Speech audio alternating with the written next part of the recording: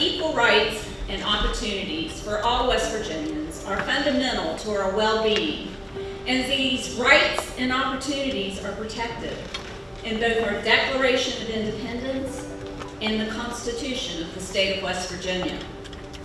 And whereas equal opportunities in employment, public accommodations, and housing are public policy in West Virginia.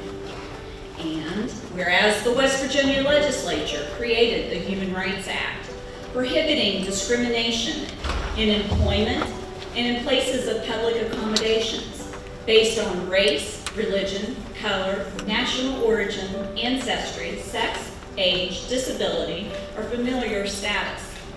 And whereas the West Virginia Human Rights Act also requires reasonable accommodations and equal access for pregnant women and persons with disabilities who use service animals.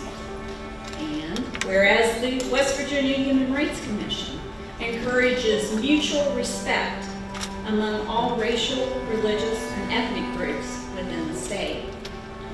And whereas the West Virginia Human Rights Commission works cooperatively with the government agencies, community and civic organizations, and representatives of minority groups to promote programs and campaigns devoted to the achievement of acceptance, understanding, and equal protection of the law.